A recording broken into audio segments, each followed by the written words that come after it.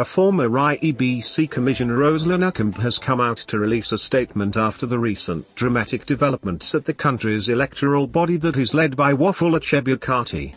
In a carefully worded statement on social media, the self-exiled former IEBC staffer Dr. Roselyn Akombe who flew out of Kenya following the disputed 2017 general elections has said that Kenyans at least know the ongoings behind the scene in the electoral body.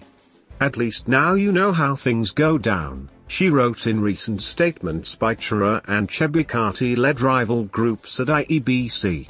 Akombe has been on record calling for reforms in the electoral management body and she seemed to have been vindicated following the recent split in IEBC. Chebukati and his team of commissioners have claimed that government functionaries wanted to interfere with the polls as Cherera and her team accuse the Chebukati team of allegedly compromising the integrity of the polls.